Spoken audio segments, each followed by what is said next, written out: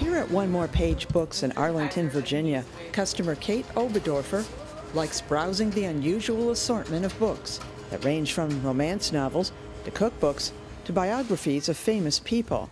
It's um, a great hole in the wall store where you can come and find independent titles. The indie bookstore opened eight years ago in this upscale neighborhood in Northern Virginia. The shop's book buyer, Lilia Nebeker, enjoys talking with customers about their literary interests. I do think it's a special place for people to come and, you know, kind of just be here together as neighbors and friends.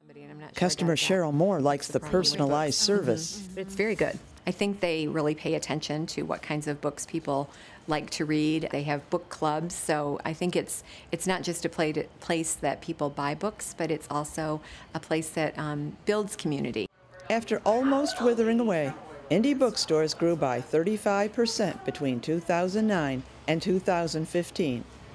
According to the American Booksellers Association, sales at the 2,400 bookstores across the United States rose about 5% over the last year. Among them is Hooray for Books, a children's bookstore started in Alexandria, Virginia 11 years ago. Owner Ellen Klein thinks part of her success has been providing a wide variety of books to the diverse neighborhood. In this community, we have a lot of mixed race families, and, and so we're, we're trying to serve them as well. And, and it's been wonderful seeing that there are more books with mixed race characters. Customer Sarah Riedel enjoys going through the selection. You just can't really browse on the internet.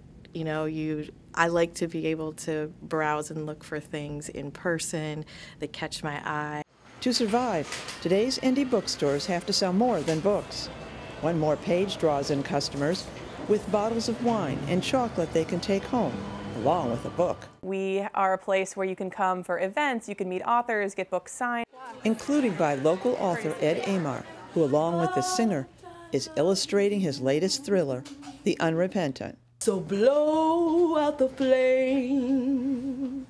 Jay realized she wasn't coming back, and he blew out the flame. So something like this gives us a different perspective on it and gives more entertainment for the audience.